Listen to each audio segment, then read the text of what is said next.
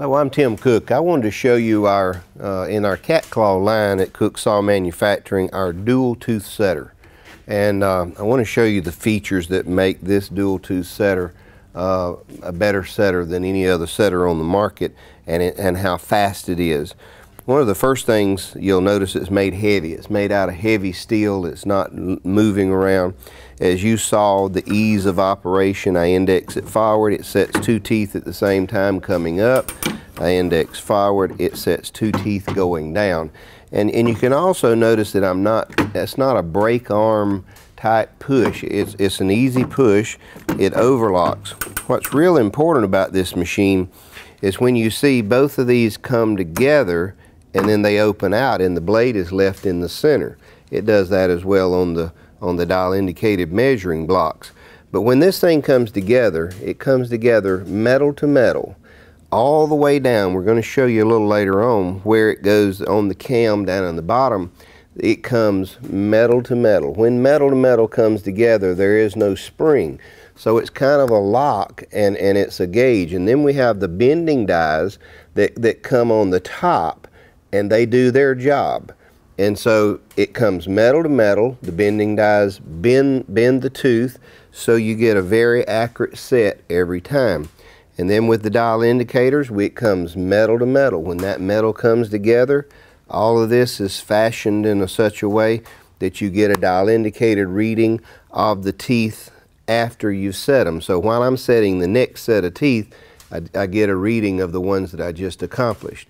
I kind of like to start off on a little low side and then kind of work my way until I get it where I want it. And then you can just go around this blade at rapid pace. You can pick the pace up of your handle, both of your handles. Now, um, one of the, the things that I really like about this, this setter is it's fast, it's heavy built, and it, and it does a, a good job. And, and that's what we want to do. Now, a lot of people are looking for perfection in setting, and I'm a proponent of trying to get your flatness more perfect than I am your set, but, but this machine is very accurate. Um, as far as any of the dual tooth uh, setters on the market today, this one is, is very accurate and it's sturdy. You can count on it for consistency and you get to measure the teeth at the same time while you're on the uh, while you're setting the blade. So you know what's going on. It, this thing is fully adjustable. I can adjust these knobs uh, on each side adjust the dies in.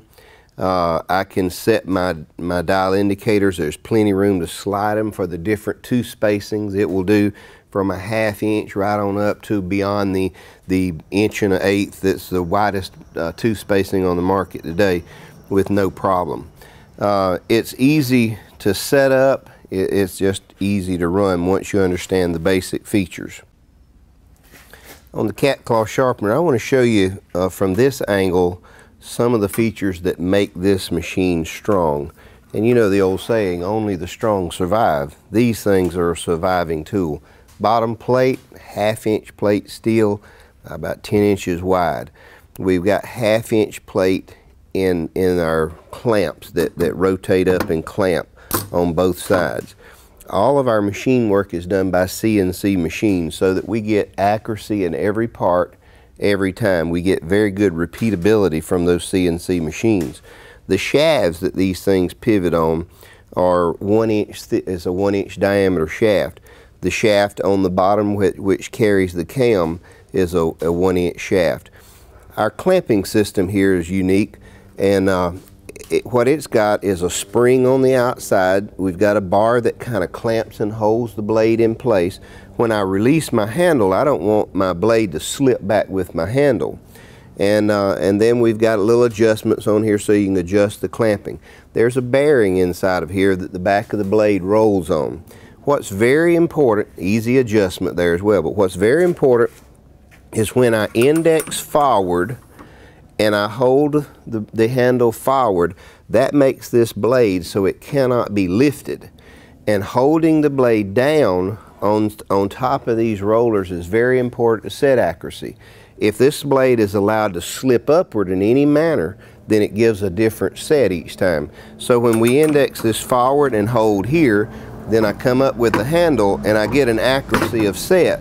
because I'm able to hold it down in place and, it, and it's in the same location every time these jaws come together and set the teeth. We have adjustments in on each one of the, the jaw clamps on the front and in the back. The ones in the back you can't see, but, but there's adjustments back there. So we can come together in the center every time like this. The reason we want to fall open like that is so the blade can pass through with no damage being done to the tooling or to the tooth. Most important, we don't want to damage the tooth. But if we damage our tooling, then that starts to give us a variation in set. We don't want to damage our dial indicators because if we rub them, then we get a groove in them, and then we'll get a variation of, of reading in the dial indicator. So it's real important for this machine that we, in our design to open and let the blade slide through. Now, if you will notice, some of the some of the dual tooth setters, and, and one in particular, only opens from one side, and it opens like this. Well, the blade then drags by the tooling, and that's not good. And the other thing that some of the dial, uh, some of the dual tooth setters have is a heavy spring, and this handle it, it, becomes very hard to set, and it only sets in one direction. So it, it, it cuts your time, it makes your speed time be double, and uh, or, or, actually half as much. And uh, this one will go twice as fast. But the other thing that I hear people complain about is with those heavy springs that push this up and then push it back, they get tennis elbow from just pulling this handle. Never heard that with our machine, and, and I think it's very important because we designed it so it's easy on the arm. And when you're doing a lot of repetitions like this, as you get old like me, you, you, you get tennis elbow and things like that from tooling that you use, and we don't want that to happen. But I think those are important issues uh, that you deal with when you're deciding what to buy when you're looking for a dual tooth setter.